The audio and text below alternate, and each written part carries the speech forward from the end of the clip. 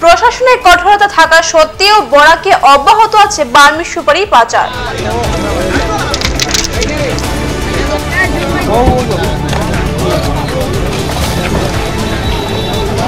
কোনো কিছুতেই বন্ধ হচ্ছে না বার্মি সুপারি পাচার। প্রশাসনকে বৃদ্ধাঙ্গুলি দেখিয়ে অবাধে বার্মি সুপারি সিন্ডিকেট রাজ চালাচ্ছে মাফিয়ারা।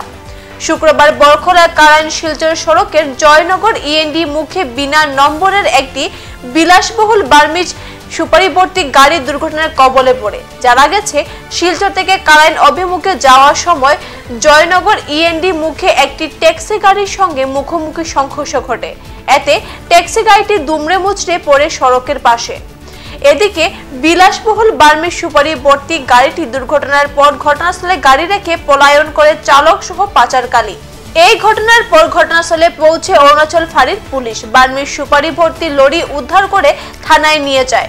বারবার প্রশ্ন উঠছে, পুলিশের এত নাকা চেকিং থাকা সত্ত্বেও কীভাবে প্রবেশ করে গাড়িগুলো? এতে কার মদত রয়েছে? জেলা প্রশাসন কি পারবে মূল মাফিয়াকে আইনের আওতায় আনতে?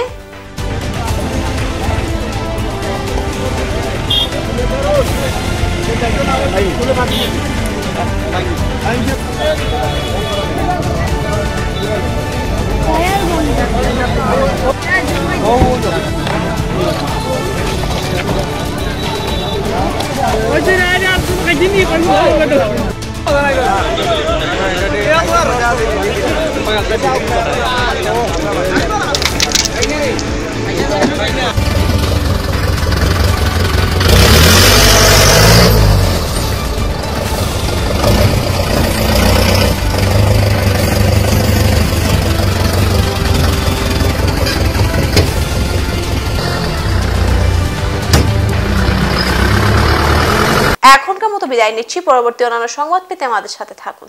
ধন্যবাদ।